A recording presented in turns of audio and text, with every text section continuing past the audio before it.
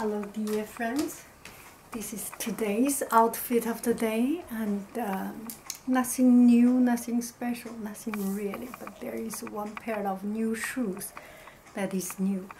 And uh, this couple of days, Beijing is always uh, in rain and uh, and wearing slippers going outside is very slippery. So i bought a pair of two pair of new shoes that was made of plastic. And it's very comfortable.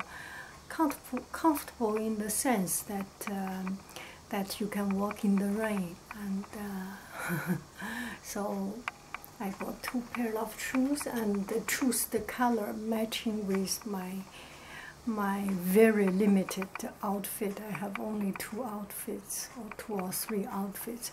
So this one goes with this color, kind of. It's a, it's a very neutral color, like this natural white or beige, beige color.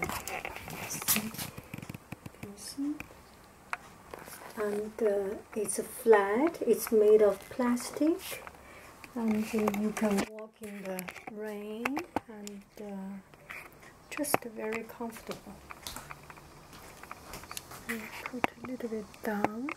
I will go outside to do some shopping and walking, so it's better to have uh, um, a pants that is uh, that has pockets. So this fits into that criteria. Very comfortable.